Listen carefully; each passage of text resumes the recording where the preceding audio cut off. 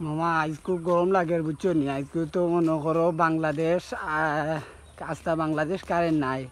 আজ কিতা করবা খুব গরম লাগে।